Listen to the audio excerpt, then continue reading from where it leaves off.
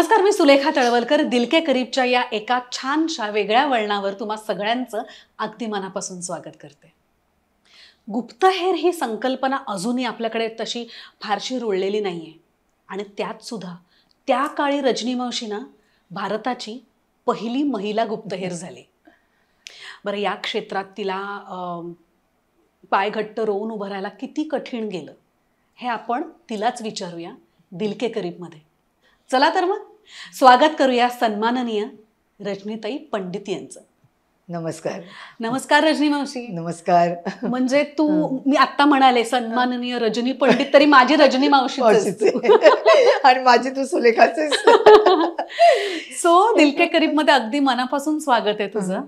आणि आपण I think दोन वर्ष बोलत होतो की आपण अं, प्रोग्राम करूया करूया पण आपल्या हो. वेळा जुळत नव्हते हो आणि त्या आधी सुद्धा मी तुझी मुलाखत घेतली होती सामना बरोबर. सामनासाठी हं. आणि त्यात सुद्धा हं. समाजात जे एक वेगळं काम करतायत त्या सगळ्या लोकांची मी मुलाखत घ्यायची. मला तुझ्याबद्दल कायम अभिमान आहे आणि. मला खूप आज छान वाटतंय की तू दिलके करीबमध्ये आली थँक्यू सो आमचं हे आमंत्रण स्वीकारल्याबद्दल थँक्यू सो मच मावशी बरं तू दिलके करीब जर का बघत असशील तर हा. तुला हे नक्की माहीत असेल की तुझं स्वागत आम्ही भरपूर गिफ्ट घेऊन करू. हो. सुरुवातीलाच लाचलुचपत असते. पण कार्यक्रम तुमचा खरंच खूप छान असतो. थँक्यू जसा वेळ मिळेल तसा तुझी लिंक आली की मी बघत असते.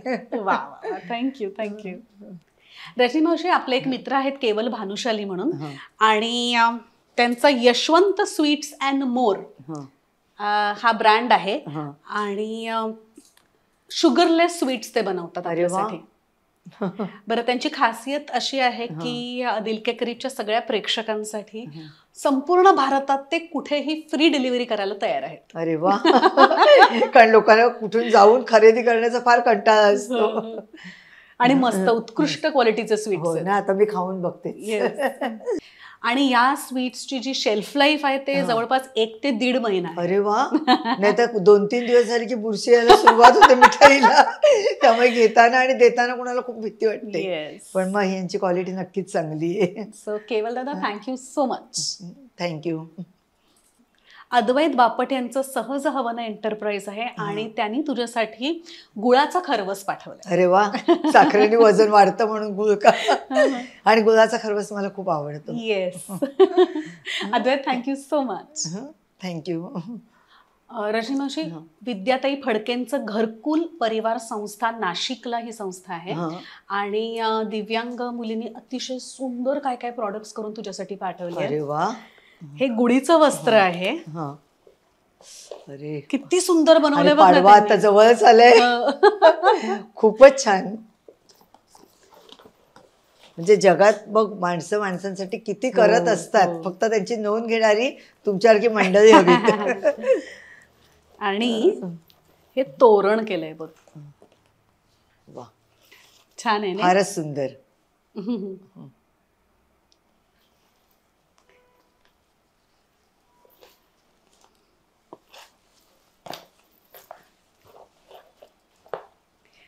घरकुल परिवार संस्था. थँक्यू सो मच आणि लवकरच तुमच्या भेटीला आम्ही येणार आहोत. आणि खूप छान बनवल्यात तुमच्या मुलींनी वस्तू. आपली आणखीन एक मैत्रीण आहे भाग्यश्री पांडे नावाची. आणि तिच्या ब्रँडचं नाव आहे भाग्यस्त्री तिने अच्छा. तुझ्यासाठी एक सिल्कची अतिशय सुंदर साडी पाठवली. अरे वा. आणि माझ्या ड्रेसला मॅचिंग आली हो. आतमध्ये पिवळा आहे वाटतं. हे बघ ना हो. कॉम्बिनेशन छान आहे. फारच सुंदर आहे. भाग्यश्री थँक्यू सो मच खूप सुंदर साडी आहे. मलाही खूप आवडली. थँक्यू आपली आणखीन एक मैत्रीण वनश्री पांडे. तिच्या ब्रँडचं नाव आहे हील युअर सोल ती स्वतः एक अतिशय उत्तम हीलर आहे लाईफ कोच आहे. हं. आणि तिने तुमच्यासाठी ना हा एक मनी बॉक्स दिलाय. ओके. सो ह्याच्यामध्ये काय काय आहे माहितीये का हं. हम्म.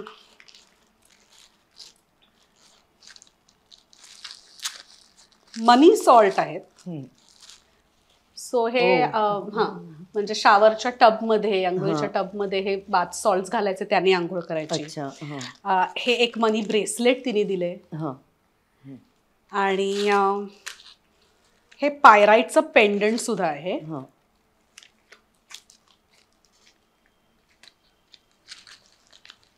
येस हे एक पायराईटचं पेंडंट आहे हो ते सुद्धा मनी पेंडंट आहे. हो का? आणि हे I think gemstone identification report I think तो जेमस्टोन सर्टिफिकेट सर्टिफिकेट आहे ते ऑथेंटिक असल्याचं. हो. छान प्रकार आहे मला आवडला. प्रकार आहे ना अगदी म्हणजे हा म्हणजे ज्यांचा विश्वास आहे ते वापरू शकतात. आणि विश्वासापेक्षा एक प्रयोग करून बघायला काय हरकत हो आहे? जेव्हा हो काहीतरी. कोणी नवीन करतंय तेव्हा त्याला चान्स देणं कामच आहे ना. खरंय खरंय झाला तर फायदाच होईल. बरोबर आहे. आपले आणखीन एक मित्र आहेत निशांत आवळे नावाचे हा. आणि चेरी पिक हा त्यांचा ब्रँड आहे. त्यांनी तुझ्यासाठी एक खूप छान बॅग पाठवली आहे. अरे वा.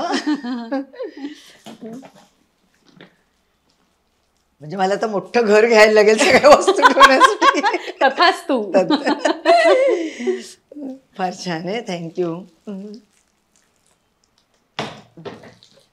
आता वेडिंग सीझन चालू आहे ना हा सो हे सगळं त्यांचं वेडिंग कलेक्शन आहे हो आणि अच्छा. अं, नेहमी लग्नाला पण जातो तेव्हा गिफ्ट काय द्यायचं द्यायचं, ते आपल्याला प्रश्न त्याच्यासाठी. पडतो बरोबर. सो तुम्ही डेफिनेटली चेरी पिकच्या सगळ्या बॅग्स देऊ शकता हो.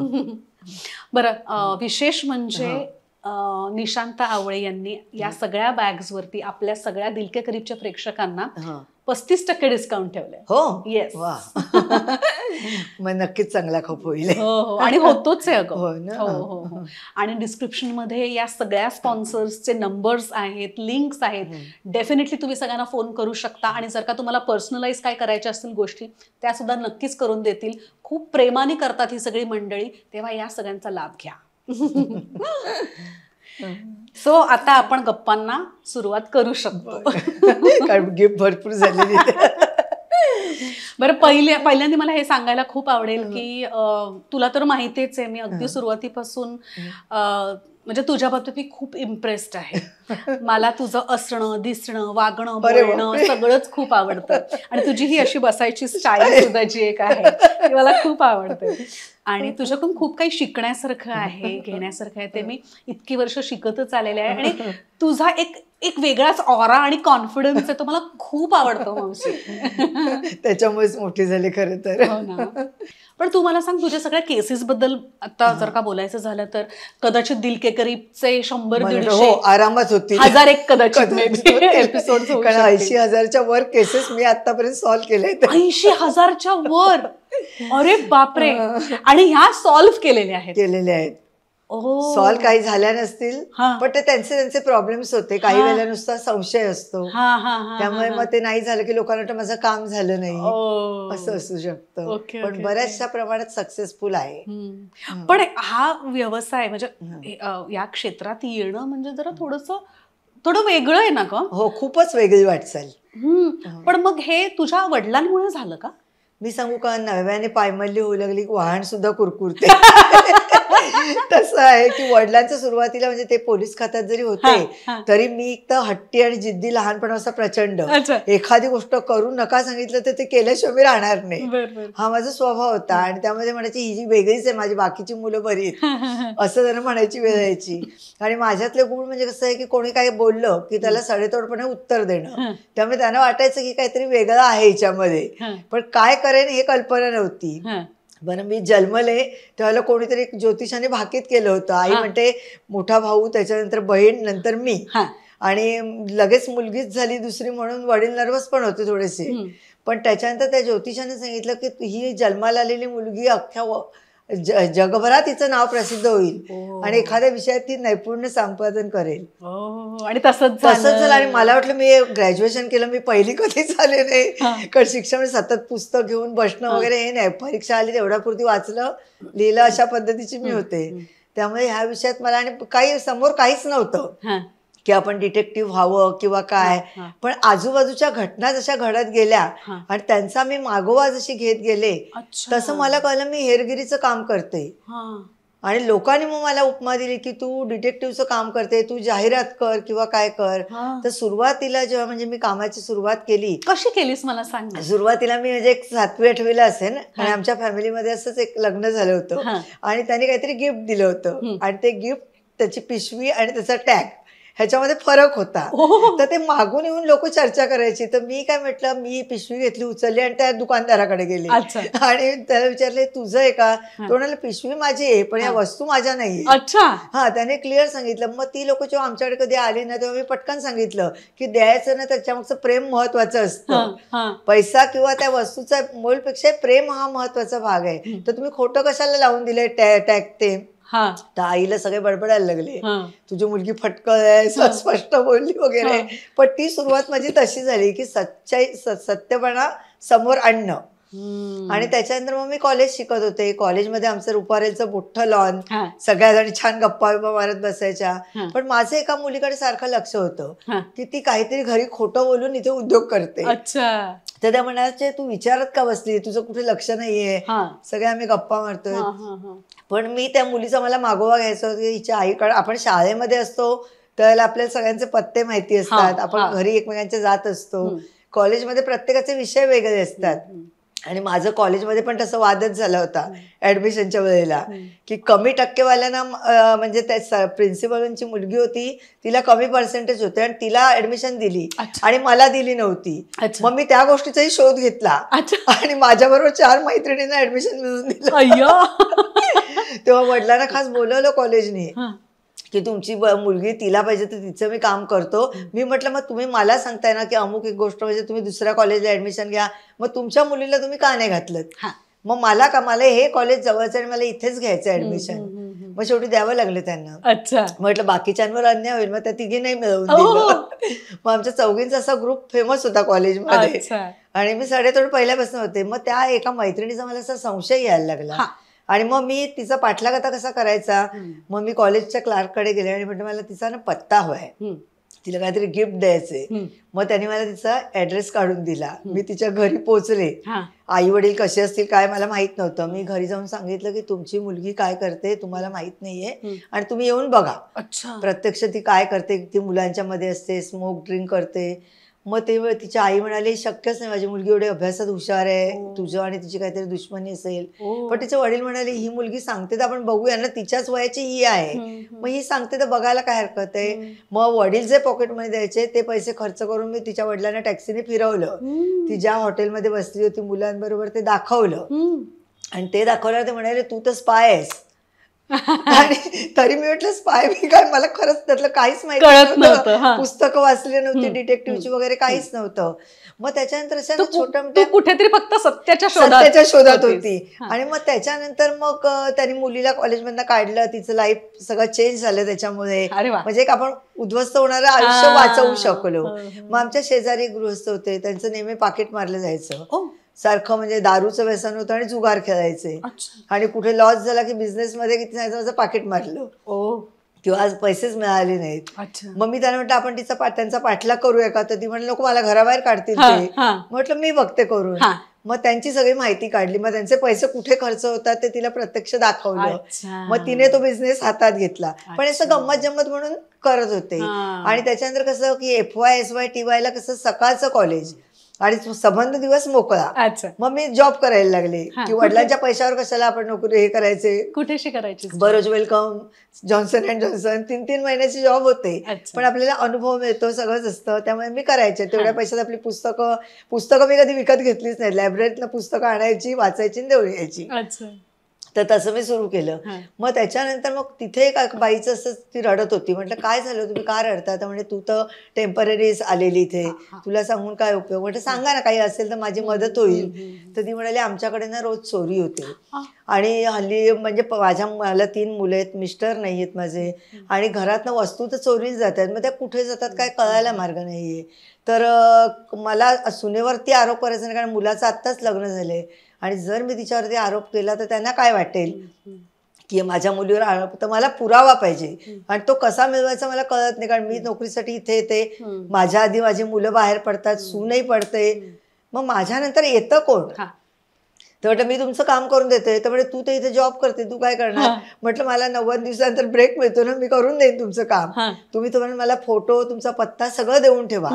मग त्यांनी मला तो दिला. मग जेव्हा मला ब्रेक मिळाला तेव्हा मी सगळी माहिती काढली. एक आठ दहा दिवस तिथे पाळत ठेवली. तर त्या कामावर गेल्यानंतर त्यांच्या मुलाकडे डुप्लिकेट चावी होती. त्याने तो लॉक उघडायचा ते सगळं घ्यायचं काय काय वस्तू आणि मित्राकडे द्यायचं. विकायचं वगैरे काही नाही. म्हणजे चोरी असंही म्हणता येणार नाही. पण त्या घरातल्या वस्तू गायब झाल्याने होत होत्या मग मी त्यांना म्हटलं दुसरं कोणीच येत नाही तुमचा असा असा एक मुलगा आहे त्याचा फोटो काढून दिला तर म्हणे हो पण हा तर खूप चांगला आहे. हे पण म्हटलं तुम्ही विचारा कारण मी. तुम्हाला पुरावा दिलेला आहे. मग त्यांनी रविवारी मिटिंग घेतली आणि. म्हणाले माझ्याकडे पुरावा आलाय. खरं काय ते कोणी सांगा. चौघही बसले होते तो सगळ्यांची चलबीचरी काय पुरावा आईच्या हाती आलाय काय माहीत नाही आणि नंतर तो म्हणाला आई आपल्याकडे पहिलं असं काही घडत नव्हतं ही वहिनी आली नवीन हिनेच कशावर केलं नसेल. तेव्हा तिने त्याच्या कानफाडत मारली. आणि म्हणाले हे सगळं तू करतो आणि तिच्यावर का आरोप करतोस. तर मग त्या वहिनीने सांगितलं की त्याला मारू नका त्याची एक चूक मला कळली आणि त्याला वाटतं ही जर आईला कळली तर आई मला घरात ठेवणार नाही मग हा आरोप म्हणजे मी तुम्हाला सांगू नये म्हणून माझ्यावर आरोप येण्यासाठी तो ते करत असणार. अच्छा. म्हणजे कसं आहे की गैरसमज पण दूर झाले कुटुंबही वाचलं हा. आणि ह्याच्यामागचं खरं व्यक्ती कोण आहे ती कळली. ओ म्हणजे त्याला विकायच्या वगैरे नव्हत्या काही नव्हत्या कारण चोरी काही नव्हती. पण त्याचं गुपित कुठेतरी म्हणजे माणूस का कुणाला ब्लॅकमेल करतो. त्याच्यामागचं काय कारण असतं? म्हणजे अशी विविध माणसं कोणावर विश्वास टाकावा हेच कळत नाही. अरे बाप हे आजचं जग आहे. अरे बाप बरं कमिंग बॅक टू यू. पण त्यावेळेला या सगळ्यासाठी तुला पैसे मिळायचे नाही. तू फक्त कोणाचं कोणाचं तरी भलं व्हावं चांगलं व्हावं. म्हणून करायची. पण ह्यात पैसा सुद्धा खूप जात असेल ना ग? तसा तेव्हा फारसा जात नव्हता वेळ द्यावा. बसनी वगैरे जाणारे लोक. आता कसं प्रत्येकाकडे स्कूटी आहे. गाड्या आहेत त्यामुळे ते लागतं. पण सुरुवातीच्या काळामध्ये माझं जे पॉकेट मनी वडील द्यायचे तर मला खर्चाची सवय नव्हती माझी बहीण आहे ना आदित्यची आई जी कला. तिला गजरे फुलं वडे सवय पण मला कसलीच सवय नसते माझे पैसे सेव्हिंग असायचे. आणि मग त्याच्यातनं घरासाठी वस्तू घे किंवा काहीतरी दुसऱ्यांसाठी खर्च कर असं एक नेचर होतं आणि माझं गणित असायचं की इतके पैसे बाजूला पडलेच पाहिजे अच्छा त्याच्यामुळे मग मी ते करता करता माझ्याकडे जे पैसे वाचायचे त्याच्यातनं ती कामं केली. मग त्या लोकांनी खुशीने मला दिली. नंतर. म्हणजे. कोणी पैसे असे ठेवले नाहीत माझे. मग त्याच्यानंतर एका पत्रकाराची केस माझ्याकडे आली. अच्छा. आणि त्याच्या बहिणीचं लग्न झालं होतं आणि त्यांनी सांगितलं होतं की आमच्याकडे एक पत्र आलं की तुम्ही जिच्याशी लग्न केलंय तो माणसाचं पहिलं लग्न झालेलं आहे. आणि तुम्हाला तुम्ही ती माहिती काढा कारण तुम्ही फसले गेलेले आहात. ते म्हणे कसं शक्य आहे? ह्याला तर आई वडील नाहीत कोणी नाही आहे. हा शिक्षक म्हणून काम करतो डोंबिवलीला राहतो माणूस. हे कसं शक्य आहे? आम्हाला तर वाटत नाही काही पण तरी पण आपण बघितलेलं बरं. पण तुम्ही कसं करणार म्हणजे ते काम कसं करणार हे माझं गुपित आहे ते तुम्हाला नेहमी सांगणार. तुमच्या कामाला एवढे एवढे पैसे लागतील.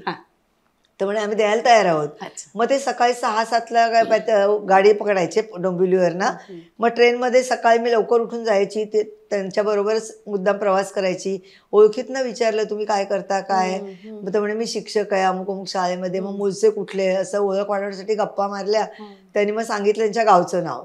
त्या नावावरनं मी त्यांच्या गावापर्यंत आम्ही पोहोचलो मी भाऊ.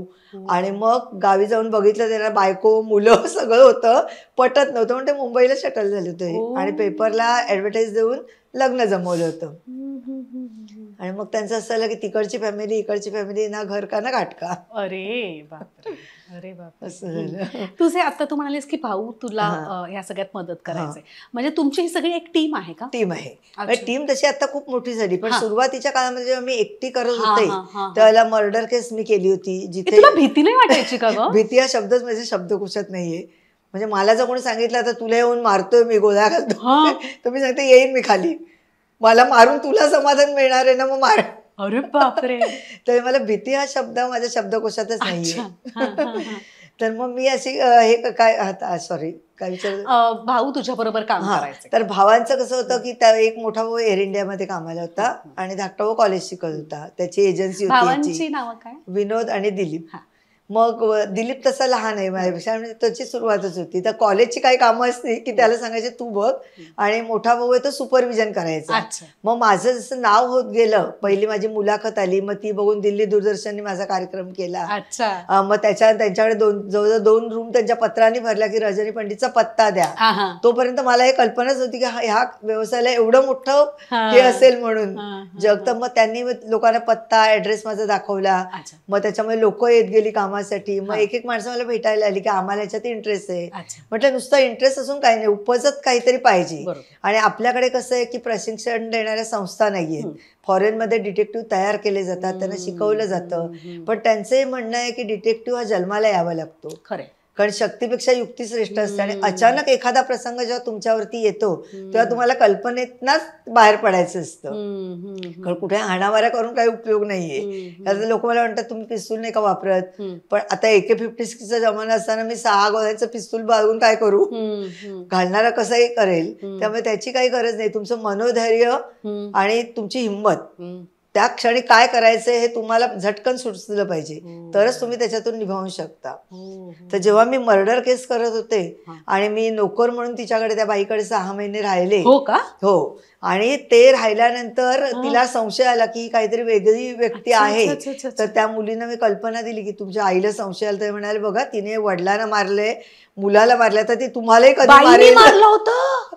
प्रेमा खातर ती एका माणसाच्या प्रेमात पडली होती हे फक्त आपण ऐकतो किंवा आपण. टीव्हीत बघतो किंवा फिल्म्समध्ये. बघतो हो. किंवा आता वेब सिरीजमध्ये तर तसं घडल्यानंतर मग मी तिथे राहिल्यानंतर ना माझा टेप रेकॉर्ड तेव्हा तीन तास चालणार आपलं साठ मिनिटं किंवा तीस मिनिटं. तर ती त्यांची लँग्वेज वेगळी होती आणि मला ते सगळं रेकॉर्ड करायचं होतं. आणि ते रेकॉर्डवर आवाज झाला घरात शांतता.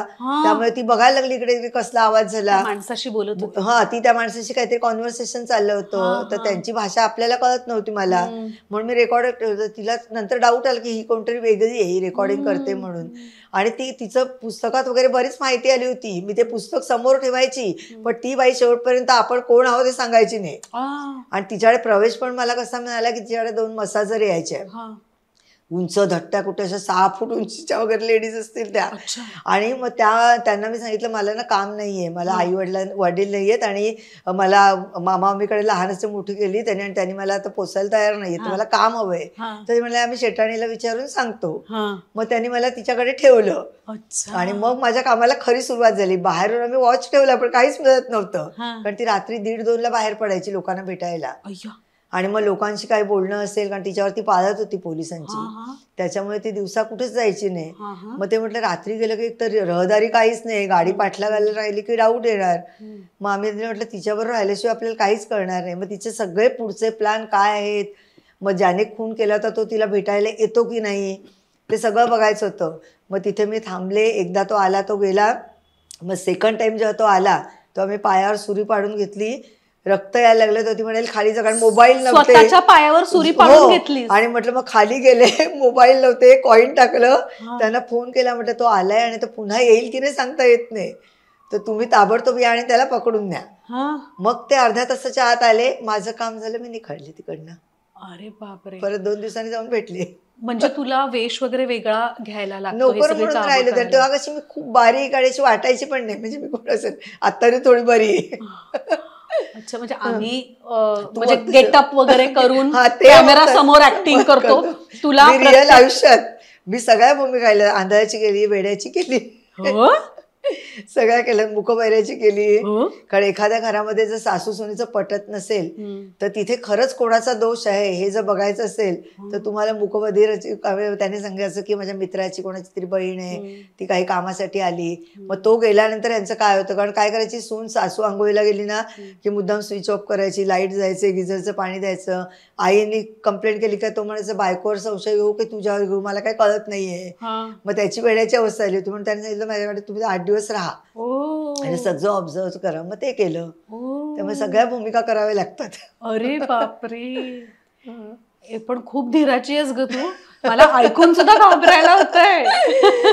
सवय झाली आता. हे सगळं करताना मला भीती काय वाटत होती? आपणच पकडलं गेलो तर.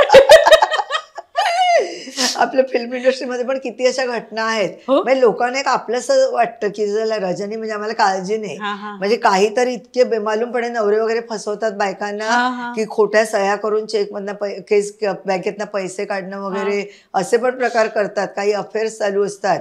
की तुम्हाला काम देऊ माझी बायको अमक्या ह्याच्यात आहे तुम्ही काय काळजी करू नका. कोणाचं लग्न ठरतं त्याच्या मागची मुला मुलींची माहिती काढणं. हा, हा. लग्न अगदी म्हणजे तारखापासून ठरतं आणि मग अचानक कळतं की हा मुलगा दोषी आहे की नाही. किंवा तिला दुसरा कोणीतरी आवडलेला असतो. मग त्याच्यावर खोटे आरोप करून लग्न मोडायचं असतं. असे बरेच प्रकार असतात. ए तू आता म्हणालीस की इंडस्ट्री मधले सुद्धा खूप केसेस हो, तुझ्याकडे येतात. येतात. मग ते सुद्धा तू सॉल्व्ह करून हो. देतेस. पण त्याच्यामध्ये म्हणजे ते कुणाला कळू नये. कारण नावं मोठी असणार हो. नक्कीच. त्यामुळे कारण माझ्याकडे लोक त्याच्यामुळे त्या वेगळ्या पद्धतीने ते काम करायला लागत असेल. नावं न सांगता एखाद दुसरी केस सांगू शकशील का ग एकाला ना रेप केस मध्ये अडकवला होता कलाकाराला. आणि त्याचं म्हणणं असं होतं मी काहीच केलेलं नाहीये पण. मला उगाच अडकवलेलं आहे तर इंडस्ट्रीमध्ये त्याला रेप केसमध्ये अडकवला होता आणि त्यांना कोणीतरी माझं नाव सांगितलं होतं. आता मला जर प्रसिद्धी हवी असती तर मी सरळ पत्रकारांना वगैरे बोलवलं असतं हो. रात्री त्यांना म्हटलं कोणीही नसतं अशा वेळेला तुम्ही अकरा साडे अकराला या आपण बोलूया. मग त्याने सगळी गाईडलाईन दिली. बदनामीची भीती असते सगळ्याच असतं. तर म्हटलं कोर्टात केस उभी राहील तेव्हा राहील. पण त्याच्या आधी सगळे पुरावे जमा करून तुम्हाला कोर्टासमोर सादर करावे लागतील की हा दोषी नाहीये. मग ती सगळी गाईडलाईन दिली आणि त्याच्यातून तो बाहेर आला.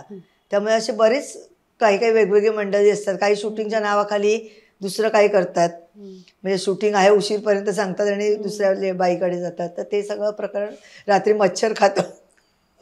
बरेच प्रकार असतात मच्छर हा रात्री दीड दोनला एखाद्या ठिकाणी थांबायचं म्हणजे खूप कठीण असतं आणि तो. कलाकार एखादा गाडीत नाही येतो. त्या बिल्डिंगमध्ये शिरतो ते शूटिंग घ्यायचं असतं. मग ते फार जपून करावं लागतं असं. पण म्हणजे कसं आहे की आता आपल्याकडे एकटी बाई सपोज रात्री दीड दोन वाजता बाहेर उभी. आहे तर त्याचा काही तुला वेगळा न्यूसन्स होत नाही का सुरुवातीला कसं असतं की लोकांना सुरुवातीला मी एकटी एकटी उभी राहायची ना तर. डाऊट यायचं कोण बाई आहे कशासाठी. उभी राहते कारण हल्ली बसवर स्टॉपला वगैरे खूप असतं. पण मी म्हणायचे आपल्याला काय आपलं कोणी काही बोललं तरी फरक पडत नाही आपल्याला काम करायचंय. पण नंतर कशी टीम तयार झाली भाऊ असायचा किंवा इतर. कोणी असायचे. त्यामुळे मग प्रश्न नाही आणि आता जवळजवळ आमची वीस तीस माणसांची टीम अरे आहे वा. की त्या सगळ्यांना मी ट्रेन केलेलं आहे. जशा माझ्याकडे केसेस येतात प्रत्येकाला वा- वाटून कामात येते आता तरुण मुलांना कुणालाही हे व्यवसाय म्हणून घ्यायचं असेल. तर याच्यात कमाई व्यवस्थित होते का? हो व्यवस्थित आहे. म्हणजे घर चालू शकतो? आरामात. फक्त प्रामाणिकपणा पाहिजे. म्हणजे लोकांचे पैसे मिळत आहेत म्हणून मी फाईव्ह स्टार हॉटेलमध्ये जाऊन खर्च करून येईन तसं नाही. त्यांचं काम पूर्ण होईपर्यंत त्या पैशाला हातही लावायचा नाही. म्हणजे माझ्याकडची तुला गंमत सांगते मी सुरुवातीला आले तर एक बाई माझ्याकडे आली होती. आणि तिचा नवरा काहीतरी कुठल्या देवा बा- हे असतात ना साधू संत वगैरे. त्यांच्याकडे जाणार होता पण त्याचं कुठेतरी अफेअर होतं. तर तिला संशय होता म्हणून ती मला म्हणाली "हे पैसे ठेवा आणि तेव्हा पर डे खूप आमचा कमी होता आठशे किंवा हजार रुपये हा, हा. तर तिने मला दोन हजारच्या नोटा दिल्या होत्या. आणि ती घरी गेली घरी. गेली आणि त्यांचं काय झालं माहिती नाही ती महिना झाला तिचा काही फोन नाही काम सुरू करायचं किंवा. काय मग नंतर म्हटलं हिचे पैसे मी किती दिवस ठेवू ना हा. जवळजवळ दोन तीन महिने होऊन गेले काही कॉन्टॅक्ट. करत नाही आणि ती म्हणाली तुम्ही मला घरी फोन करू नका. तर म्हटलं मग आपला नंबर जाईल हिच्याकडे म्हणून हिने सांगितलं असेल. मग तिचा पत्ता होता त्या पत्त्यावर म्हटलं तिचा नवरा नसताना तुम्ही घरी जा. आणि काय पोझिशन आहे ती बघून या. मग नंतर त्यांनी सांगितलं की तिचे मिस्टर वारलेत म्हणून. मग मी तिला फोन केला. तर म्हणे मी फक्त तुमचं नाव घेतलं की मी रजनी पंडितकडे केस दिली. तो म्हणजे टॉयलेटमध्ये तर हार्ट अटॅकने गेला. म्हणजे मला भीती वाटते की माझ्यामध्ये एक जण मेला. ऐकू ऐकू बरं नाही ना म्हणून मी लोकांना सांगते आधी सांगू नका. प्रूफ येईपर्यंत. हो हो हो. कारण सत्य समोर यायला खूप वेळ लागतो पेशन्स हो. लागतात. त्याच्यानंतरच तुम्ही काही ते बोला ग बिचारी. बरं तू जसं परदेशात तू मगाशी म्हणालीस हा. की प्रॉपर अकॅडमीज असतात हो. स्कूल्स हा. असतात डिटेक्टिव्ह व्हायला. तर तशी तू एक संस्था काढली आहेस ना ग? संस्था काढायची खूप इच्छा होती. हा. पण काय झालं जागेच्या अभावी आपण काढू शकत नाही. कारण हा. प्रत्येक ठिकाणी कसं असतं की तुम्ही जेवढं चांगलं कराल आता आपल्याकडे घटना घडल्यानंतर लोक जागी होतात. हं. तर घटना घडण्यापूर्वी जर आपण असे ट्रेन केलेले काही डिटेक्टिव्ह ठेवले की ट्रेनमध्ये बसमध्ये आपण म्हणतो अतिरेकी आलेत बॉम्बला झालेत तर ह्या गोष्टींसाठी कोण डाऊट संशय आपल्याला वाटतो का किंवा. काय हे करून आपण मुलं तयार करू शकतो. तर गव सरकारने याच्याकडे लक्ष द्यावं की समाजाची फार मोठी गरज आहे. हेरगिरी ही आणि त्याच्याकरता त्यांना लायसन द्यावं म्हणजे. पुढच्या पिढीला त्रास होणार नाही बरोबर नशिबाने मी लेडीज आहे मला भरपूर लोकांची मदत झाली भरपूर. ऑफिसर्स म्हणजे मी सांगितलं ना एखाद्या मुलाला पोलिसांची भीती वाटत नाही. पण मी जर एखाद्या ऑफिसरला सांगितलं ना की हा मुलगा ऐकत नाही हम्म. त्याला जरा तुमचा इस्का दाखवा तर ते ताबडतोब सांगायचे घेऊन या. नाही तर बरेच कोणी कोर्टात गेले कोणी बंदोबस्ताला गेले मग ती भीती जी असते ना मुलांच्या मनातली ती निघून जाते. तर वेळीच त्यांना दाबणं गरजेचं असतं आणि ते मग ते ऑफिसर मला खूप मदत करायची. असं होतं रजनी मावशी तू अनेक जणांसाठी आदर्श आहेस हो. पण तुझे आदर्श कोण आहे खरं सांगू माझे आदर्श कोणी नाहीये. कारण काय माझ्यासमोर डिटेक्टिव्ह हा विषय जो आहे तो माझ्याकडे अचानक आलेला व्यवसाय आहे. त्यामुळे मी ना सिरियल बघितल्यात ना कोणाची पुस्तकं वाचलीत. किंवा काही लोकांनी मला दिले की तुम्ही शेरेला कोम आहात किंवा ओमकेश बक्षी आहात. अमुकात पण मला मी कधी काय त्यांच्याबद्दल माहितीच नाहीये मला. त्यामुळे मी काही बोलू शकत नव्हते. आणि त्यामुळे आदर्श असं कोणी नाहीये माझा अनुभव हा माझा गुरु आहे. ह्या अनुभवातनं मी खूप शिकत गेले. आणि मी लोकांना तेच सांगते की कुठे गेल्यावर लोक विचार तुम्हाला अनुभव काय. तर तुम्ही चान्स दिलात तरच अनुभव आहे. आज सगळी पत्रकार मंडळी माझ्या प्रेमाने पाठीशी उभी राहिली. ज्यांनी मला प्रसिद्धी दिली. ह्या सगळ्याच लोकांमुळे मी आज मोठी झाली. तर त्यांना मी कधीच विसरणार नाही की त्यांनी जर माझ्या व्यवसायाची ओळख करून दिली नसती तर मी कोणाला कळलेही नसते. अशी तुझी शिकण्याची प्रक्रिया काय होती नेमकी? मी तुला आता म्हटलं मला अनुभवातनं शिकायला खूप आवडलं की एखादी केस आली आता ही कशा पद्धतीने आपण उलगडायची? म्हणजे एक उदाहरण द्यायचं झालं तर एकाचं एका मुलीचं लग्न ठरलं होतं. ती म्हणाली जेव्हा जेव्हा मी त्याला फोन करते ना तो मला भेटायचं टाळतो. अच्छा. आता काय त्याला माझी इंटरेस्ट आहे की नाही काहीच कळत नाही. म्हणतो माझी पाठ झुकते दिवसभर कामच असतं. तर आणि लग्नाचीही घाई करतायत पण त्याचा इंटरेस्ट दिसत नाही तर मला ही माहिती काढून. घरचे लग्नाची घाई करतात. घाई करतायत. मग म्हटलं आपण वॉच ठेवून बघूया याचं काही कुठे काय अफेअर वगैरे आहे का? आणि मग त्याच्यानंतर तर म्हटलं लग्नाची माहिती काढणं खूप कठीण असतं कारण माणसाचे सगळे गुण कळतात पण स्वभाव तर काहीच कळत नाही. मग त्याचा पाठलाग केल्यानंतर ना तो एका केमिस्टकडे गेला आणि त्या केमिस्टकडनं त्यांनी औषधं घेतली. मग तिथे असं कळलं की आता केमिस्टकडनं औषधं घेतली ती काय घेतली आपल्याला कसं कळणार? प्रिस्क्रिप्शन त्याच्याकडे. तो पुढे गेल्यानंतर डोक्यात आयडिया आली की केमिस्टकडे गेले आणि म्हटलं त्या मा- ह्यांनी स- सरांनी आमची औषधं घेतलीत ना तर त्यांना अजून पाहिजे कारण ते बाहेरगावी चालले तिथे नाही मिळाली तर काय करणार? हो. त्याने फटाफट औषधं दिली. हा. ती घेतली ती डॉक्टरला दाखवली. डॉक्टर म्हणाले की लेप्रसीची सुरुवात म्हणजे कसं आपल्यामध्ये ते अनुभव मला सगळं सांगत गेले की आता ह्या घटनेला आपण काय करायचं? ओ म्हणजे कुणाला पकडायचं रेड आणि तर काय करायचं? हा, हा, हा. किंवा काय आता एक मुलगी रात्री उशिरा घराच्या बाहेर पडते ती ड्रग घेते. मग तशीच एखादी मुलगी तयार करायची तशीच सिगरेट फुकणारी वगैरे आणि मग तिच्यामध्ये तिला टाकायचं.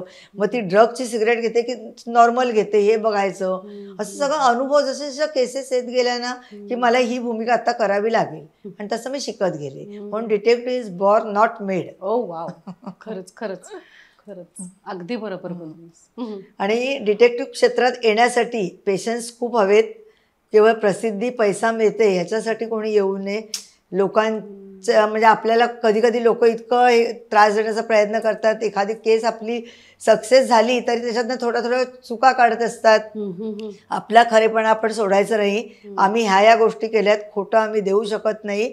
आणि कोणी अरेला कार्य केलं तर आपली तयारी असावी कारण आपण सर्वसकट उत हे ठेवलेलं असतात. पुरावे त्यामुळे आपल्याला काही भीती नसते. तर मला बरेच जण विचारतात तुम्ही कुठल्या पोलीस स्टेशनला जाता का? केसेस घ्यायला किंवा काय? किंवा आता अद्वैतलाही या व्यवसायात यायचं असेल तर मी त्यांना पेशन्स ठेव हा. आणि क्लायंट येण्यापूर्वी तू कारण क्लायंट आपण म्हणतो ना की ग्राहक आपला देव हो, हो, असतो हो. त्यामुळे त्याला उशीर झाला तर चालेल पण आपल्याला उशीर कामा होता कामा नये. तर या वेळा पाळ माझ्यासारखा आदर्श ठेव आणि मग पुढे जा मावशी तुझ्यावरती हल्ला सुद्धा झाला होता ना हा. एकदा हल्ला म्हणजे मारलं भेटलं नव्हतं मला हा. पण तयारीत होते मारण्याच्या हो? कारण मी पुस्तकं लिहिली होती दोन पुस्तकं लिहिलीत चेहऱ्याआडचे चेहरे आणि मायाजाल. तर मा चेहऱ्याआडचे चेहरे पुस्तक आहे त्याच्या एक हजार प्रतीचं आमचं ॲग्रीमेंट होतं. आणि मार्केटमधनं ती पुस्तकं संपली होती. तर योगायोगाने काय झालं होतं की ज्येष्ठ नागरिकांचा प्रोग्राम होता आणि त्यांना तीनशे पुस्तकं हवी होती. आणि वर्ष झालं अजून पुस्तक कशी संपत नाहीत. तर आपले अरुण टिकेकर लोकसत्ताचे संपादक होते त्यावेळेला तर ते म्हणाले होते की रजनी पंडितला अख्खा महाराष्ट्र ओळखतो. आणि तिचं खूप नाव आहे तर. ती पुस्तकं तिची एक दिवसात पण संपतील. ते पुस्तक आणि खरं सांगू ना तर शर्मिला ठाकरे माझं पुस्तक मार्केटला आलं की एका रात्रीत वाचून संपवते इतकं आहे तिचं. तर तर ती त्यांनी ते सांगितलं होतं आणि पुस्तकाच्या ज्या डुप्लिकेट कॉपी आहेत त्या मी विचारायला गेले पुस्तकं आहेत का? तर मला सांगितलं नाही आहेत संपलीत पुस्तकं मार्केटमध्ये. मग मी म्हटलं आपण ऑर्डर देऊन बघावं. म्हणून मग मी दादरला आयकडे ऑर्डर दिली. त्याला माहिती नव्हतं कोणाला हवीत पुस्तकं. मी पत्ताही दुसराच दिला. तर त्यांनी मला ती पुस्तकं शंभर आणून दिली हं. मला वाटायचीत म्हणून. मग त्याच्यावर पत्ता होता पुण्याचा. हं. म्हणून मग पुण्याच्या देशपांडे म्हणून जे गृहस्थ होते त्यांच्याकडे म्हणजे एका वितरकाकडे हजार पुस्तकं. हा. असे भारतामध्ये भरपूर वितरक. आहेत. आणि पुस्तकं केव्हा संपली होती. मग मला सांगितलं की म्हणजे मी पुण्याला शोधायला गेले तेव्हा मला सांगितलं होतं की तुमचा किणी होईल. म्हटलं हरकत नाही किडनीचा मेंदू गायब केला मला पूर्ण केली तरी परवा नाही. पण सत्य काय आहे आणि त्याच्यावर तर बरेच मोठमोठे लोक मध्यस्थी पडली होती. हो. पण माझी बाजू सत्याची होती म्हणून मी काय घाबरले नाही. मग मी आणि रिमा एका कार्यक्रमाला होतो रिमा लागू. हम्म. आणि तिचे माझे बरेच एका ठिकाणी कार्यक्रम झालेले तर आम्ही दोघी येत होतो मग आम्ही येताना काय केलं पोलीस स्टेशनला कंप्लेंट केली. की माझ्या बरोबर मला रस्त्यात जाताना काही झालं तर जबाबदार ही लोक असतील कारण आमचं असं असं भांडण झालेलं आहे. कारण त्या पद पद ह्याने कळवलं. प ज्याच्याकडे पुस्तकं होती वितरकाने की त्या आलेल्या आहेत आणि मला माझ्याकडनं आणि त्याचं मी रेकॉर्ड करून घेतलं होतं. की मी तीनशे पुस्तकं मुंबईला पाठवली सातशे प पुस्तकं माझ्याकडे शिल्लक नाही किती सहाशे किती पुस्तकं शिल्लक आहेत आणि एवढी एवढी विकलीत. म्हणजे मला तो पुरावाच हवा होता. म्हणजे एवढे बाबा देशामध्ये वितरक आहेत म्हणजे तो खूप पुस्तकं काढलीत. मग ते कळल्यानंतर तुम्ही ताबडतोब मुंबई सोडा आपण इथे येऊन बोलू. म्हटलं तेव्हा मी विचारलं. तेव्हा काय सांगितलं की काही अर्थ नाहीये. नंतर एक अगदी प्रसिद्ध प्रिंटर आहेत. त्यांना तिने मध्यस्थी घातलं आणि विचारलं की ही या पुस्तकावरती जे आहे तर त्याच्यावरचा जो कलर पहिला होता तो फेंट होता. तो नंतर डार्क झाला. आता उन्हात माणूस फिरलं तर माणूस सुद्धा सावळा होतो. म्हणजे तो कलर फेंट व्हायला पाहिजे तर तो डार्क झाला. जास्ती. त्याच्यानंतर त्याचा बो होता तो गायब झाला. म्हणजे कवरावरतीच पाच सहा गोष्टी होत्या. मग मी रात्री साडेबारा एकला घरी आले. बाळासाहेबांना मातोश्रीवर फोन केला.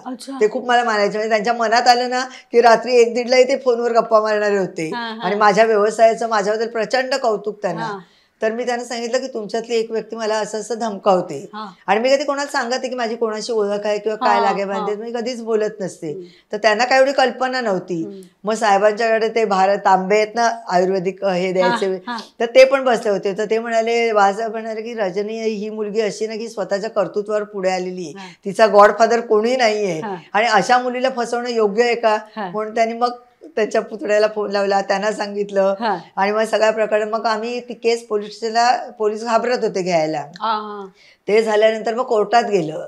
कोर्टात गेल्यानंतर तिथे शंभर एक माणसं मला मारण्यासाठी आली होती बापरे म्हणजे आम्हाला कळलं ते की इथे बाहेर भरपूर पब्लिक दिसतंय मग. तिकडनं कसं पळायचं मग मी गाडी तिकडेच सोडली. दुसरं गेट घेतलं मग इकडे मुंबईत परत आले आपल्या घरी रोजच्या हो. आणि काही दिवसांनी गाडी आणली पण तेवढं आणि मग नंतर मला सांगितलं आम्ही ह्याच्याकडे मोर्चा नेला होता दिलीप कुमारकडे. म्हटलं तुम्ही तिकडे अंडरवेअरवर गेला तर माझ्याकडे नागड्याला तरी मला फरक पडणार नाही. मी सत्यासाठी लढते. आणि सत्याला कधी हे प्रॉब्लेम नसतो. त्यामुळे मी त्या वस्तीत बिंदास होते पण लढले मी. आणि नेहमी लेखकाला फाटकं समजलं जातं लेखक फाटकं नसतो त्याच्या बुद्धिचातुर्यावर तो चालतो. म्हणजे मी डिटेक्टिव्ह असेल तरी मी लेखिका पण आहे. मी माझ्या कॉलेजमध्ये असताना पण काही कथा लिहिल्या त्यांनाही प्राईज मिळालेला आहे. फक्त आता मला लिहायला वेळ नाही म्हणून दोन पुस्तकावरतीच थांबले मी. आता म्हणजे तुझ्या यशस्वी केसेस तर तू म्हणालीस किती हो. होत्या? सॉरी ऐंशी हजार. ऐंशी हजार सॉरी ऐंशी हजार यशस्वी केसेस आहेत. पण अशाही काही असतील ना मोजक्या की ज्याच्यामध्ये तुला यश नाही मिळालं? कधी कधी काय असतं ते यश का नाही मिळत ते एखाद्या माणसाला संशय असतो. माझ्याकडे एक असाच क्लायंट आला होता सुरुवातीच्या काळात. आणि आपल्या त्याच्याकडे गाडी बिडी होती चाबी बी गरगर फिरवत होता त्याला वाटलं की माझं इम्प्रेशन पडेल. हा, तर म्हणे माझ्या बायकोचा मला पूर्ण संशय आहे की तिचं काहीतरी लफडं आहे. हा. तर एक महिना बघितलं दोन महिने बघितलं तिचं काहीच नव्हतं मग म्हणाला मी तिला आता बाहेर गावी पाठवतो तुम्ही तिथे माणसं ठेवा हा. मग आम्ही तिथेही माणसं ठेवली. तिथे बघितलं तिचं काहीच नाहीये फक्त तिला असं म्हणजे कोणाशी फोनवर वगैरे बोलायचं ती कामाच्या निमित्ताने बोलत असेल. पण ह्याच्या डोक्यातनं तो संशयाचा किडा काही जायच ना आणि मग तो म्हणाला नाही नाही तुमची माणसंच काम करत नाहीत नीट. तर म्हटलं डेलीचे रिपोर्ट्स आहेत तुम्ही बघा. आमची माणसं काम करतायत की नाही ती. पण तिचं काही नाही तर आम्ही खोटं कसं रिपोर्ट सांगणार. मग आला पैशाची बॅग घेऊन. आणि म्हणे पैसे घ्या आणि तुमच्या माणसाने सांगा की ती रूममध्ये एकटी असताना त्यांनी जायचं काहीतरी कृत्य करायचं आणि तिचे तुम्ही फोटो काढायचे आणि मला कोर्टात ते दाखवून डिवोर्स घ्यायचे म्हटले पैसे घे बॅग घे आणि चालायला लाग मी. खोटी कामं करत नाही. करणार नाही मला पैशाचाही मोह नाहीये. त्यामुळे तू ह्या गोष्टींचा विचारही करू नकोस जे कोणी असं करत असेल त्यांची तू मदत घे. आणि म्हटलं पुन्हा हा विचारही करू नकोस. म्हणजे इतकं डोकं आणि मग त्याची सगळी बाकीची माहिती काढली तर त्याच्या मित्राची आणि त्याची पार्टनरशिपमध्ये कंपनी होती आणि तो मित्र ह्याचं माइंड डायव्हर्ट व्हावं म्हणून ह्याच्या मनात काय काय संशयाचं बीज त्याने रोवलं होतं. आणि तो प्रत्येक वेळी म्हणजे हात जायचा तिथे काहीतरी करायचा सिगरेटचं पाकिट ठेवून यायचा किंवा एखादी ग्लास मुद्दाम पाण्याचा मागून तो तिकडेच ठेवायचा आणि याला सांगायचं तू आता जाऊन बघ तुझ्याकडे कोणतरी येऊन गेलेलं आहे. अरे बापरे. आणि मग ती सांगायची कोणीच आलं नाही. तर तो म्हणायचा बघ किती खोटं बोलते ती. मग त्याला असं वाटायचं म्हणजे त्या मित्राचं म्हणणं होतं की हा याच्यातनं बाजूला झाला की हा जो माझा बिझनेस वाढला तो माझ्या एकट्याच्या ताब्यात येईल. म्हणजे काय माणसाची वृत्ती असते की दोघांनी मिळून सुरू केलेला बिझनेस आपल्याला एकट्याला मिळावा म्हणून त्यांनी त्याच्या बायकोचा उपयोग करायला लावला होता. कारण माणसाचं माइंड चेंज होतं ना की आपण ज्या बाईशी लग्न केलंय ती आपल्याला फसवते. त्याच्यामुळे हा उप- होऊ शकतं. हे कसेच माझ्याकडे जवळजवळ पासष्ट वर्षाचे गृहस्थ आले होते. इन्कम टॅक्समध्ये मोठ्या पदाला होते ते. म्हणे मी तीन डिटेक्टिव्हकडे गेलो. मला काही पटत नाही पण माझ्या बायकोबद्दल मला असं वाटतं की ती हल्ली खूप छान राहते. तर म्हटलं राहत असतील ना काही हल्ली लोक. तर म्हणे नाही पण तुम्ही लेडीज आहात ना तुमचं मी फेमिनामध्ये आर्टिकल वाचते तर मला तुमच्याकडे काम द्यायचं तुम्ही त्याच्यावर लक्ष ठेवा. मी लक्ष ठेवलं तर ती जवळजवळ महिन्यात तर तीन वेळा पार्लरमध्ये यायची. बाकी काय नव्हतं मग मी त्या बाईंना विचारलं तुम्ही पार्लरमध्ये नेहमी येता? फेशियल केस बीस कापणं वगैरे? तर म्हणे "हो, माझ्या नवऱ्याचं लक्ष दुसरीकडे जाऊन येणं कारण हल्ली यंग यंग मुली. वयस्कर मुलांच्या पाय माणसांच्या प्रेमात पडतात. मग त्यावेळेला अपयश असं नाही पण नाही मग सक्सेस झाल्यासारखं वाटत नाही हो. असं असतं. लोकांचं पण जी सत्य. परिस्थिती असते ती आम्ही सांगतो ती फक्त मानणं न मानणं त्यांच्यावरती. बरोबर बरोबर खरंय या सगळ्यासाठी तुझं कौतुक तर खूप होतच हं. पण कधी टीकेला सुद्धा तोंड द्यावं लागलंय का हो. तुला टीकेला म्हणजे कसं असतं लोकांना सुरुवातीला जेव्हा म्हणजे म्हणजे कधी कधी झोप पूर्ण व्हायची नाही मग हो. तोंड सुजल्यासारखं झालं की काय आज कुठे मार खाऊन आली का? म्हणून असाही टोमणा मी ऐकलाय. हो. म्हणजे लोकांची वृत्ती सांगते. मग दुसरा एक मंत्री होते त्यांना भेटायला गेले ते म्हणा दुसरा कुठलाच बिझनेस मिळाला नाही का? हाच बिझनेस का निवडला? हा हा. म्हणजे प्रत्येकाचे वेगवेगळे मतं. मग तुम्ही आणखीन पोलीस डिपार्टमेंटमध्ये विचारलं तुम्ही मग आज प्रायव्हेट डिटेक्टिव्ह व्यवसाय करण्यापेक्षा आमच्या डिपार्टमेंटला का नाही जॉईन होत. ते पण मला विचारून झालं. तर म्हटलं मला कोणाच्या हाताखाली काम करायचं नाही. इथे मी स्वतंत्र आहे की मला वरून दबाव आला की केस बंद करता मी करणार नाही. त्यामुळे मी म्हटलं स्वतंत्र व्यवसाय करते. त्यामुळे कौतुक आणि टीका ह्या दोन्हीला हे गेले ज्याच्यानंतर मी बिल काढलं म्हणून मला जेल झाली होती. ती म्हणजे आणि ते मी लपवत पण नाही मी कोणी केस घेऊन आली की सांगते मी जेलमध्ये होते तुम्हाला माहिती का मग ते म्हणतात पण तुम्ही वाईट काय केलं. एक नवरा बायकोला खोटं सांगतोय की माझं काही लफडं नाहीये घरची लोक तिला वेडी ठरवतात की तू संशयी आहे. तर त्याच्यामुळे माझ्याकडे एक माणूस आला होता तो म्हणाल मी हे काम करतो मी त्याच्याकडनं काढून घेतलं. मार्केटमध्ये जर ते माल मिळतोय. आणि कोणाचा त्याला उपयोग होतोय म्हणून मी केलेलं आहे. तर मला बरीच लोक मी बाहेर आल्यानंतर म्हटलं तर मला तेव्हा कळलं मी की एवढी मोठी सेलिब्रिटी म्हणजे मला वाटतं कितीतरी पत्रकार गाड्या घेऊन माझ्या मागे होते. अच्छा. की तुम्हाला त्याच्याबद्दल काय म्हणायचं? म्हटलं त्यांनी त्यांचं काम केलं की मी पण पोलिसही तेच करतायत. एखाद्या गुन्हेगाराला पकडायचं म्हटलं तर तुम्ही त्याचं बिल घेता त्याचं लोकेशन काढताय. हा. तेव्हाच तुम्ही गुन्हेगाराला पकडता. मग तसंच तुम्ही डिटेक्टिव्हलाही मान्य मान्यता द्या ना. तुम्ही वरची परवानगी घेणार काढणार त्यापेक्षा आम्ही त्वरित करतोय बरोबर हो. त्यामुळे कधी कधी काही लोक पोलीस ऑफिसर जेव्हा पूर्वीचे होते ना माझ्या ओळखीतले काही तर ते मला सांगायचे काय मदत लागली तर मॅडम सांगा आम्ही जरूर करू हा. म्हणजे इतकी सहकार्य करणारी लोक आहेत असं.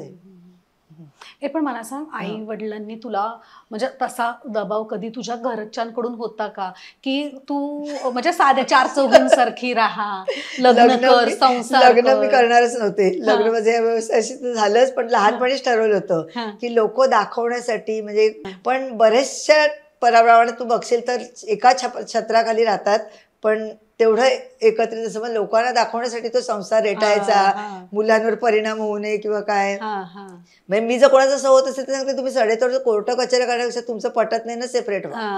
किंवा आधीच करार करा की ह्या या गोष्टी मला पटणार नाहीत ह्या या पटतील. आणि असं पण कशाला त्या मुलांचं पण तुम्ही नुकसान करताय ना कारण त्या मुलांवर खूप परिणाम होतो या गोष्टीचा. तर आई वगैरे आईला माहिती होती ही जिद्दी काही करेल. वडिलांचा विरोध होता ते. म्हणाले "पाह- पाहिजे तेवढा व्यवसाय सोपा नाही. कधी तुला संकटांना तोंड द्यावं लागेल पण हो. ती तयारी माझी होतीच हो. आणि मृत्यू आहे तर आपण इथे बसलोय वरून छप्पर पडून पण माणसाचा मृत्यू होऊ शकतो. त्यामुळे त्याची भीती नव्हती. जन्माला आलो तर मरणार कधीतरी आहोतच हे तुला सगळे घाबरून असतील ना एकदम हा घाबरतात तसे मग त्या त्या मनाने मित्रमंडळ वगैरे सगळं ते कमी होतं का ग ज्यांना माहिती माझा स्वभाव पहिली रजनी आहे तशीच. आता आहे त्यामुळे तो काही फरक पडत. नाही पण थोडे टरकून असतात हो ना मला पण असं वाटतंय की अरे बापरे अरे म्हणजे तशी माझी आता निवेदिता सविता तू म्हणशील सगळ्या हो. मैत्रिणी तू हो. ज्यांना माहिती आहे की रजनी उगाच कोणाला हे करत नाही त्यामुळे. सगळ्या जवळच्याच आहेत. आणि माझे क्लायंट जेवढे कोणी असतील ना ते अगदी मला घरच्यासारखेच आहेत. हम्म. म्हणजे त्यांचा एक आधारस्तंभ असल्यासारखं आहे की. त्यांना असं ही केस आता आपल्याकडे आली आहे आणि त्यांच्या मनात पण नाही की अशी आपल्याला घटना कळेल. हा. मग त्यावेळेला त्यांची मानसिक स्थिती काय आहे. हा रिपोर्ट त्या सहन करतील की नाही? मग त्यांच्या आधी मनाची तयारी करून मग आपण ते सांगायचं असतं. हो, हो, हो, हो, हो. त्यामुळे ते म्हणतात की बाकी डिटेक्टिव्हकडे गेलो की तुम्ही पैसे द्या फॉर्म भरा तुमची माहिती द्या. मग आम्ही बघतो. पण एवढं असं जिव्हाळ्याने बोलणारं वगैरे आमच्याकडे कोणी नाहीये. तर म्हणून मला असं वाटतं की माझा व्यवसाय तर बरीच लोक म्हणतात तो तुमचा व्यवसाय बंद झाला किंवा तुमचं काही झालं. देवाच्या कृ तर तुमचं पुढे कोण? तर मी माझ्या आता भाच्याला तयार करते. ज्याचं आता ग्रॅज्युएशन पूर्ण झालंय अरे तर वा त्याला तयार करते भावाच्या. मुलाला मी त्याला आज किती वर्षानंतर बघितलं हो ना. आदूला म्हणजे मी गेल्या वेळेला बघितलं तर तेव्हा एकदमच तो असं हो तुझ्या मुलाचा काहीतरी वाढदिवस का काहीतरी हो, हो, हो, हो, हो. तर. असा लहानसा गुब्बू गुब्बू आणि आता इतका हँडसम झालाय हं? मावशी तुला मान सन्मान तर प्रचंड मिळालाय आजवर पण त्यात सुद्धा तुझ्या दिलके करीब असा सन्मान कोणता? हिरकणी अवॉर्ड. सह्याद्री वाहिनीने सुरू केला. मी आणि विजय ते औरंगाबादला होतो आणि मला तिकडे फोन आला की रजनी तुमचं नाव सिलेक्ट झालंय. हिरकणी अवॉर्ड आम्ही सुरू केलाय आणि तो तुम्हाला पहिला द्यायचा आहे त्यामुळे तो आणि दिल्लीच तर्फे मला हे आपलं चाइल्ड आणि वुमन्स ह्याचा आहे. तो मनेका गांधीतर्फे राष्ट्रपतींच्या हस्ते देण्यात आला. आणि त्यांनी ते एवढं कौतुक केलं म्हणजे पाच सहा जणींच्याच मुलाखती अशा तरी ठेवल्या होत्या. त्याच्यात त्यांनी मला बोलायला ठेवलं. आणि खूप म्हणजे जवळची व्यक्ती असल्यासारखा मान सन्मान दिला. वा वा आता तू आदूचं नाव घेतलंस. हं. तर तो तुझा वारसा पुढे नेणारच आहे. हं. आणि घरच्यांबद्दल काय सांगशील एक माझा माझा ऍक्टर आहे जो तुम्हाला हो. सगळ्यांना माहिती आहे आदित्य वैद्य. त्यामुळे त्याला पण मी एखाद दोन केसेस असा मोकळा असला की दिलेले आहेत आणि त्याने पण त्या सक्सेसफुल हो? केल्यात अरे वा हे मला माहीत नव्हतं. त्याची पण मदत काही वेळेला होते. त्याची होते म्हणजे आदित्य वैद्य. जो आता चाल तू चाल पुढे. तू चाल पुढे झी वर तिची मालिका चालू आहे त्याचा हिरो आहे. आणि आता अद्वैतला पण थोडा इंटर म्हणजे अद्वैत शाळेत असल्यापासूनच हेरगिरी करत. होता. कोणी माझ्याकडे आलं. की त्याच्या खिशाला पेन असला की तो सांगायचा बोलू नको त्यांच्या खिशाला पेन लावलेली त्याच्यात कॅमेरा आहे. किंवा शाळेमध्ये जर कोणी काय केली गडबड तर तो मला हळू येऊन सांगायचा. अच्छा. अरे वा. आणि सुरुवातीला असा पजेसिव्ह होता की मी कोणाशी बोलायचं नाही. हा. तो आला की त्याच्याकडेच लक्ष केंद्रित करता माझ्या मैत्रिणी त्याला नाव दिलं होतं वादळ. की वादळ आलं की तो डायरेक्ट मिठीच मारायचा. आणि त्याला लहानपणी मी घेऊन सगळीकडे फिरत होते. म्हणजे त्याच्या खाण्यापिण्याचं सगळं. म्हणजे त्याला केळं पोळी गुळ पोळी चटणी पोळी काही द्या. पण माझं काम होईपर्यंत गाडीत घेतला त्याला जेवायला दिलं.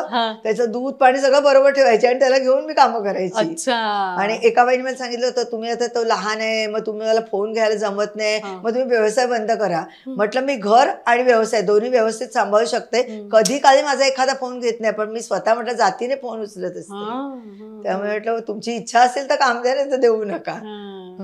आणि बहिणीबद्दल काय सांगशील? बहीण पण काय ती पण व्यवस्थित आहे. तिची पण कधी कधी मदत होते. वा वा, वा, वा. ती पण खूप लागवी हो. मग अशी भावांची नावं कळली बहिणीचं नाव नाही कळलं. बरं. बहीण म्हणजे आदित्यची आई शोभा वैद्य. आणि आई वडिलांचं नाव? आई प्रमिला पंडित माहेरचं नाव सुंदर आहे आणि ती आहे सुंदर हो तर. आहे. म्हणजे लोकांना माझ्याकडे आल्यानंतर आईच आवडते. किती छान आहे म्हणजे तिचे गाल खूप ओढायचा प्रयत्न करतात. खूप सुंदर आई आई सगळ्यांनाच आवडते आणि वडील शांताराम पंडित. अच्छा. ते पण माझ्यासारखे सडेतोड हा. तापट हा. एखाद्याने जर उगाच अपमान केला तर त्याच्यावर लगेच पाणी सोडायचं तीच भूमिका होती की मला गरज नाही मी चाललो वा रजनी मावशी ऍज युजल तुझ्याशी बोलून खूप धमाल आली खूप बरं वाटलं.